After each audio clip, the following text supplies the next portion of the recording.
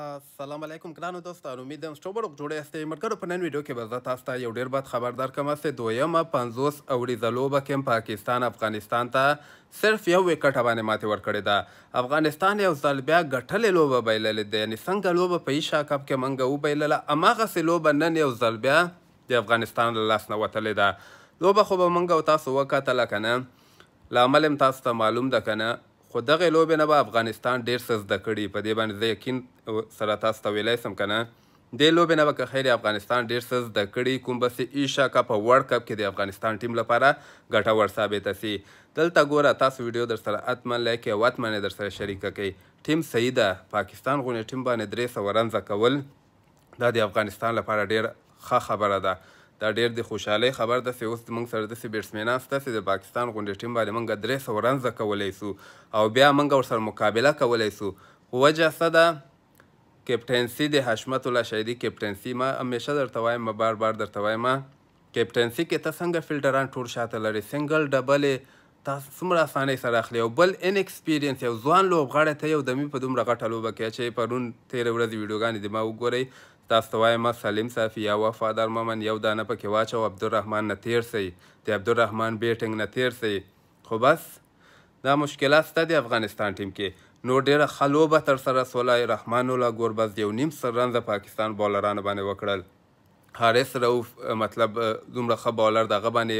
څلور څلوریزې په یو اوور کې ووهلې شاهین شاه افریدي باندې شپږیزې ووهلې نسیم شاه باندې شپږیزې ووهلې نو ابراهیم اتیا رنزه وکړل محمد نبی لاندې کې ښه وکنه ښه بیټنګ یې وکړه مطلب ښه لوبه تر سره سوله ما همدغه غوښتل چې ښه لوبه وسي که افغانستان یې وګټي او که پاکستان یې وګټي فرق نه غورځي چې مطلب ښه لوبه تر سره سي او هماغسې وسول داسې لوبه قسمت کې نه وله دوی کنی ان اکسپیرینس تجربه مطلب زده کړه یې نه ده کړې ایشا کپ کې هم دغسې مشکل سره مونږ مخ سو بیا وګوره ان اکسپیرینس اخر وخت کې تجربه کاره لوبغاړي په کار باندې راځي او ځوان لوبغاړی سي هلته په سیکنډ لاست اور کې لوبه خو خلک به وایي سي فضل حق فاروقي بیا مطلب دنه رنزونه نسیم شاه وکړل کنه خو اصلي افغانستان هغلته لوبه وبایلله سي کله په عبدالرحمن باندې نو نهه څلوېښتم اوور کې تاسو وګورئ څومره زیات رنزونه یې ونه واخیستل، هغلته افغانستان لوبه وبایلله، نو ډېر څه به افغانستان دغه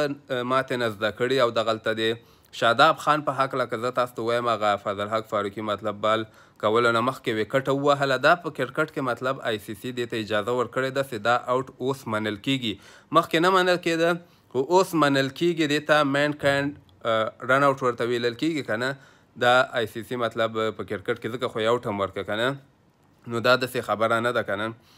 نو تاسو مونږ او تاسو ته په کار ده چې ټیم تشویق کو لوبغاړي تشویق کو راتلونکي میچونه زیات دي ایشا کپ د ورلد کپ تر سره کیدونکی ده اوس هم سری وخت ده حشمت باید